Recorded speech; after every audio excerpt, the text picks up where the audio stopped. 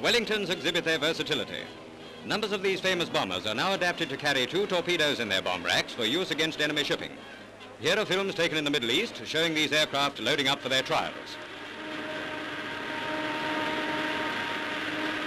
Another accomplishment of the Wellingtons is mine laying. They share this with other types of aircraft, but it's only recently that this side of their work has been made public. Of considerable size, the mines are dropped by parachute, which opens out after release.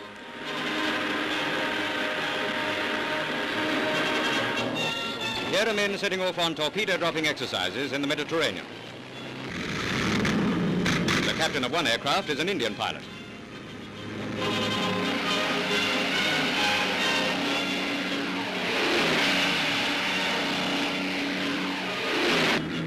The Wellingtons fly out to sea where a target ship is stationed for the dummy attack.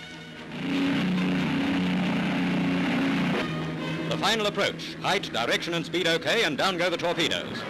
After completing their run, the dummy tin fish will be recovered by launch.